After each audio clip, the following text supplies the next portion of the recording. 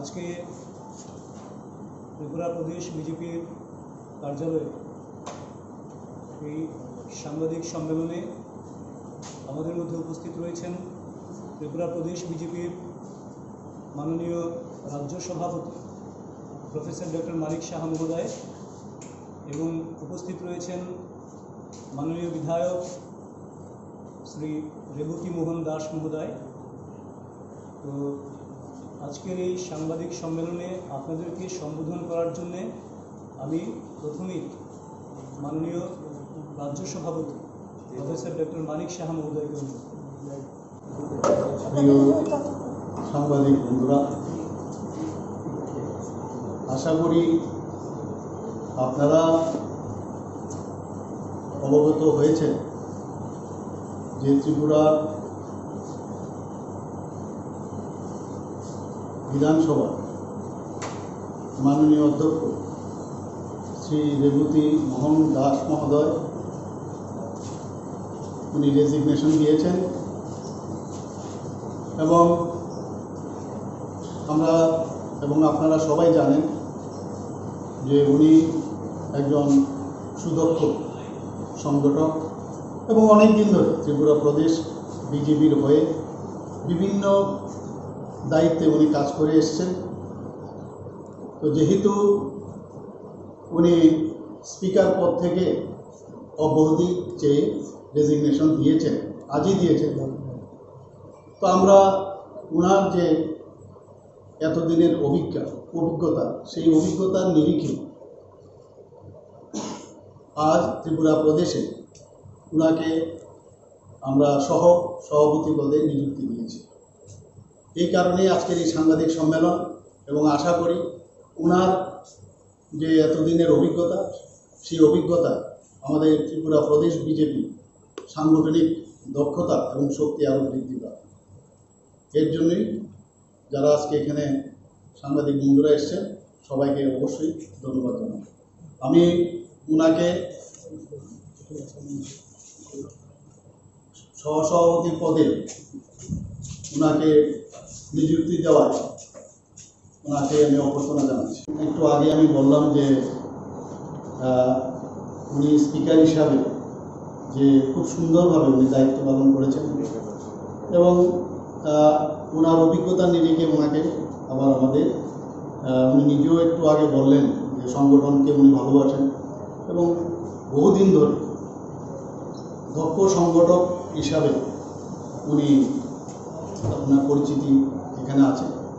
তো আমাদের এই ছজন সহসভাপতির মধ্যে আপনারা জানেন যে আমাদের ত্রিপুরা পশ্চিম আসনের মাননীয় সুশ্রী প্রতিমা ভৌমিক উনি এখন ইউনিয়ন মিনিস্টার পদে ওনাকে দায়িত্ব দেওয়া হয়েছে। তাই ওনার রেজিগনেশন আমরা একটু আগে আমি পেয়েছি। তো সেই জায়গায় বলা যেতে পারে যে আমাদের বিভূতি দেওয়াকে এই দায়িত্ব দেওয়া হবে। এবং আশা করি ওনাকে আবার আমি শুভেচ্ছা জানাচ্ছি। আশা করি দায়িত্ব পালন করবেন। ত্রিপুরায় যদি তৃণমূলের সরকার হয় তাহলে বাংলায় যেভাবে একশো চৌষট্টিটা প্রকল্প চলছে সবকটি ত্রিপুরাতে প্রকল্পগুলি চালু করা হবে। এটা বলছেন কে? পশ্চিমবঙ্গের শিক্ষামন্ত্রী প্রাপ্ত বসু। আপনি কি বলবেন সেই জায়গায় ওনাদেরকে জানেন ওরা তো অ্যাকচুয়ালি কমিউনিস্টদের একটা ডুপ্লিকেট পার্টি বলা যায়, একদম কার্বন কপি বলা যায়।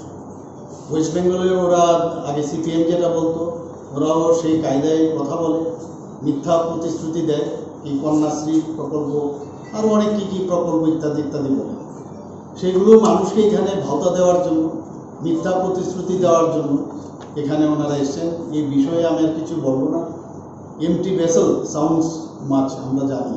এখানে ওনারা এসছেন ঠিকই, কিন্তু হইচইয়ের মাধ্যমে একটা নিজেদের নিজেদেরকে এখানে সবার নজর কাড়ার জন্য ওদের এইসব কর্মকাণ্ড, বিভিন্ন নাটক ইত্যাদি এখানে সংগঠিত করছে।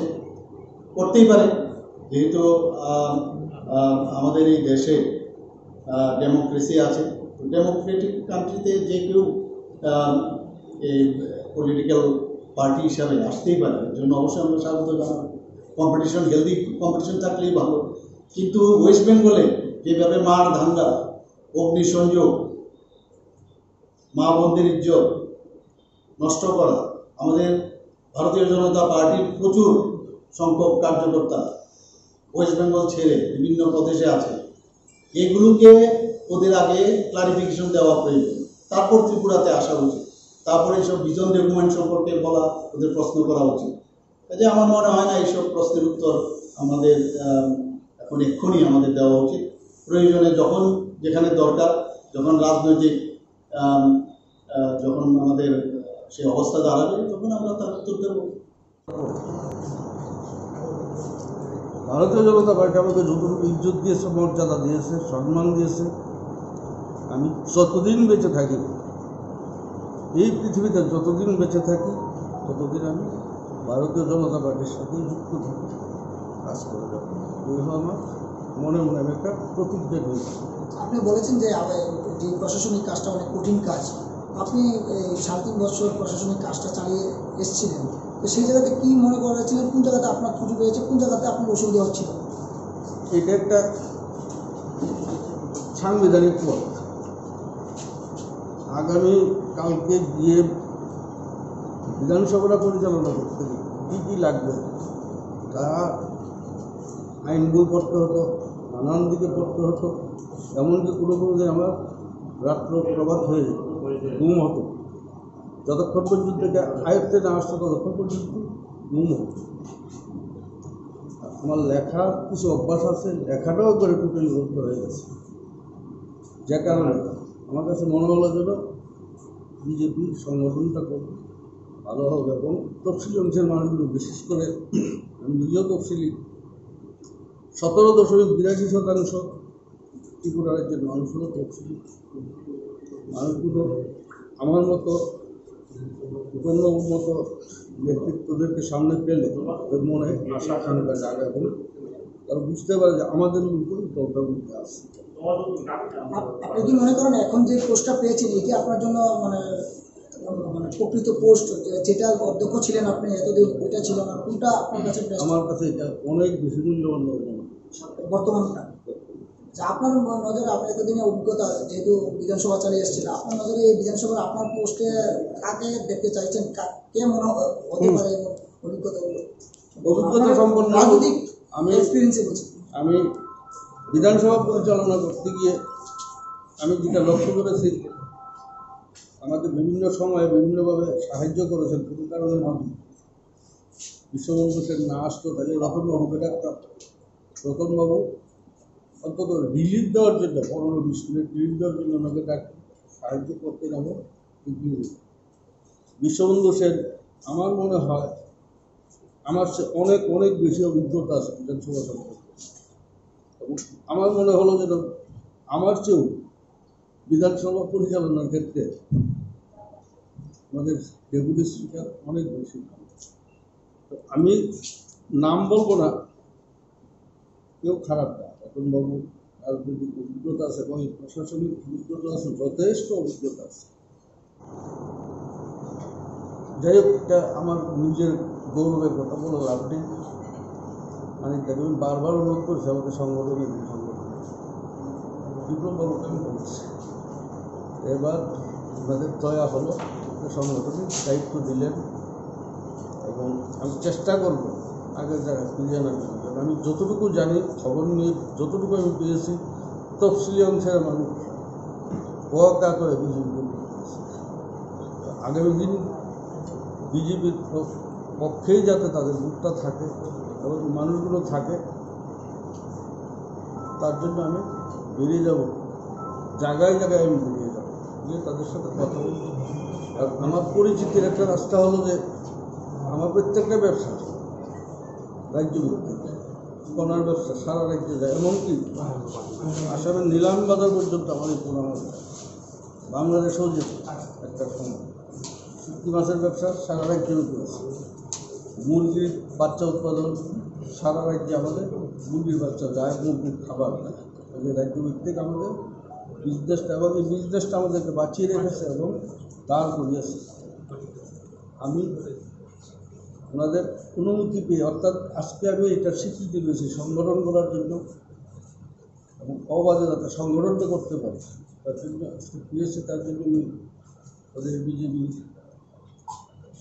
সভাপতি শ্রদ্ধ মানিক শাহ মহোদয়ের কাছে আমি কৃতজ্ঞতা প্রকাশ করছি এবং পাশাপাশি রাজ্যের মাননীয় মুখ্যমন্ত্রী বিপ্লব বাবু আমাকে সংগঠন করার অনুমতি দিয়েছে তার জন্য ওনাকে আমি আন্তরিক শ্রদ্ধা করি অভিনন্দন জ্ঞাপন করছি।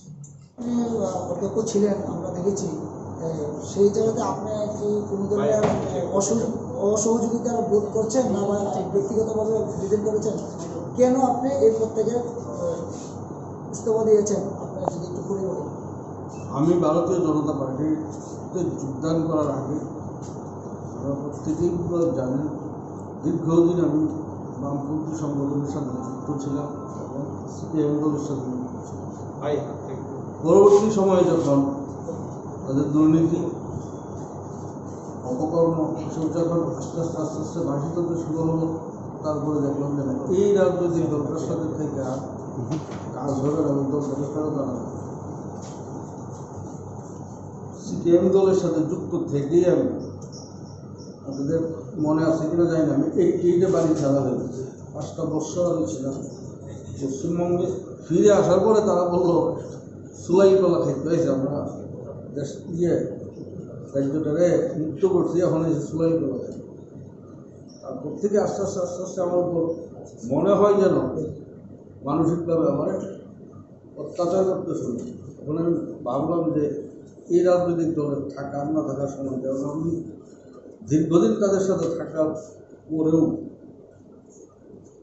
পার্টির লোকাল কমিটির সদস্য ছাড়া কোথাও স্থান নেই। এবং প্রশাসনিক দায়িত্ব নিয়ে কাজ করার মতো মানসিকতা আমার ছিল যখন আমি দেখলাম যে ভারতীয় জনতা পার্টি যেভাবে কাজ করে যাচ্ছে এবং সুদক্ষ একজন নেতার নেতৃত্বে বিজেপিকে রোখা যাবে না। কাজে সিদ্ধান্ত নিলাম ভারতীয় জনতা পার্টিতে যোগদান করব। যথারীতি আমি যোগদান করেও কিন্তু ঘোষণা দিয়েছিলাম আমি তিন মাস আগে। আমি ভারতীয় জনতা পার্টিতে যোগদান করব। আমার আত্মীয় স্বজন বন্ধু বান্ধব আমার সাথে যারা কর্মী ছিল তাদেরকে আমি আহ্বান করছি যে আমার সাথে এসে যোগদানগুলো করতে পারে।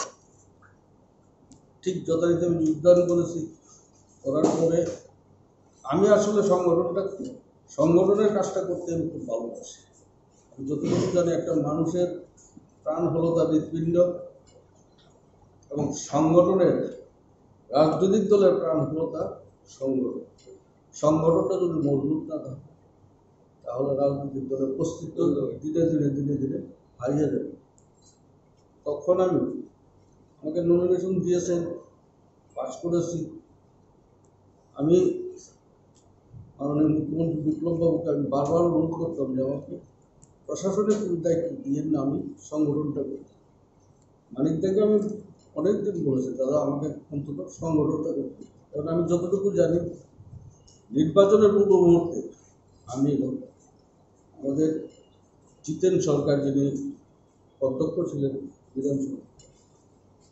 রজেন্দ্র দাস বর্তমানে আমাদের যে এসসি যিনি সভাপতি প্রীতম দাস আমরা চারজন জায়গায় জায়গায় গিয়ে তফসিলি অংশের মানুষরা যেখানে বসবাস করে তাদের থেকে মিটিং করেছি। তাদের সাথে কথা বলেছি। আর আমার একটা সোর্স ছিল, আমার ছিল মাছের ব্যবসা। আমার ছিল পোনা মাছের ব্যবসা। আমার ছিল সত্যি মাছের ব্যবসা। ছিল না এই ব্যবসাটাই আমাকে ধরে রেখেছে। জায়গায় জায়গায় আমার পরিচিতি আছে। প্রত্যেকটা কর্নার আমার পরিচিত আছে আরেকটা জিনিস আমি লক্ষ্য করেছি, যত ইন্টেরিয়ারে গেছি, ততই দেখলাম তফসিল অংশের মানুষগুলো ইন্টিরিয়ারে বসবাস করে। এবং সেখানে পর্যন্ত গিয়ে সংগঠনটাকে ধরে রাখার জন্য ওই দলটাকে রাজনৈতিক দলটাকে ক্ষমতায় জন্য এবং সিপিএম দলটাকে সরিয়ে দেওয়ার জন্য যা যা করতে হয়েছে এবং জায়গায় জায়গায় গিয়ে আমি কাজ করেছি। তাদেরকে সাথে করে নিয়ে এবং সহযোগিতা করছে। তো এখন যেটা প্রশাসনের দায়িত্ব এগুলো পালন করার কথা প্রতিদিন মনে আমার আর একটা অভ্যাস আছে, এটা হলো লেখাপড়া